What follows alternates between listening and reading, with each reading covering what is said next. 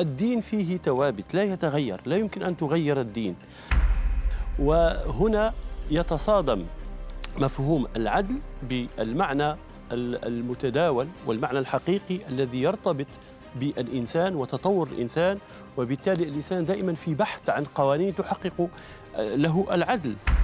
وهنا وهذا يقتضي تغيير القوانين بتغيير المصلحة وتغيير الحاجة.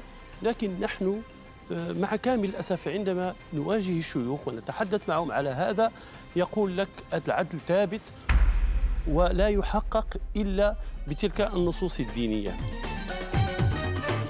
مختلف عليه مع إبراهيم عيسى.